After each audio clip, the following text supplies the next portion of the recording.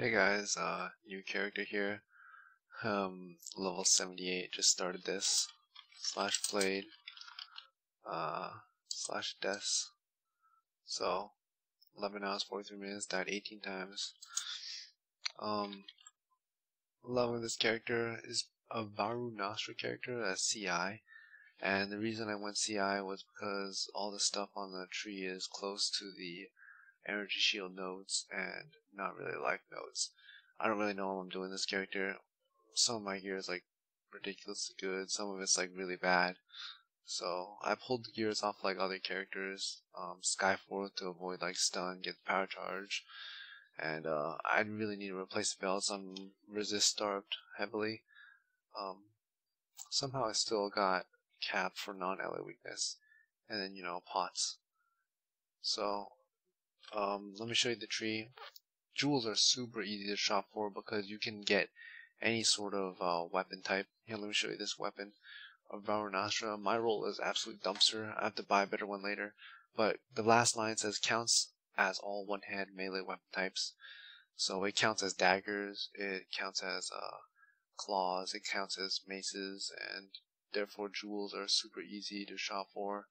I got like crazy four modules for like nothing because no one usually uses that stuff. And on the tree, I just spec'd into flask nodes.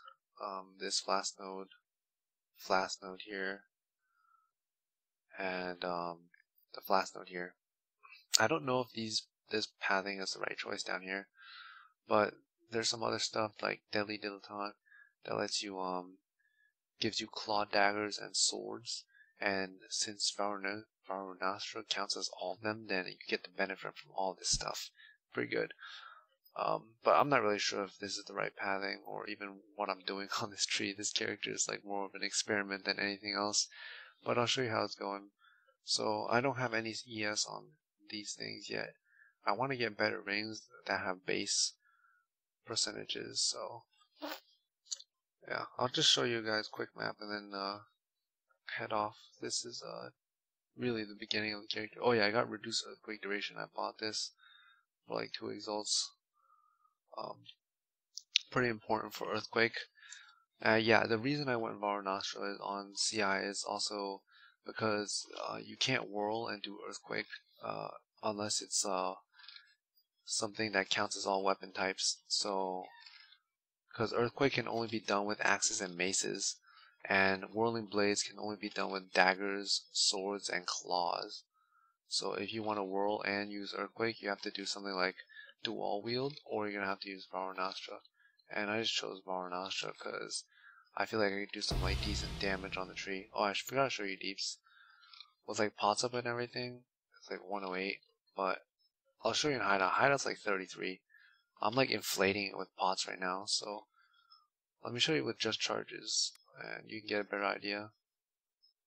So just charge is 64 and then pots is 94 and vault haste is 108 so and hideout is uh 33 right now.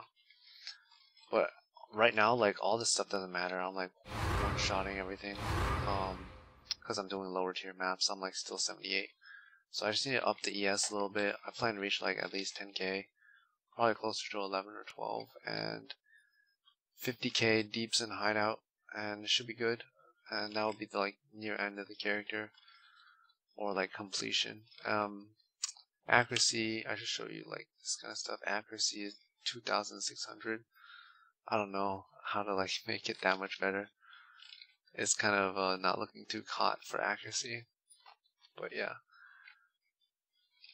Uh it's pretty much the character uh, I don't really know what I'm doing, so this is kind of, it might change a lot more from what I have right now, uh, especially the tree, because uh, this is like my first time doing this kind of character, and I'm really just clueless all around. There was no one else who was like doing something really that similar to this, and yeah, that's pretty much it. So, oh, I should tell you the bandits. Uh, my bandits are, you can actually check right here. Bandit Lord Alira, Power Charge for Merciless,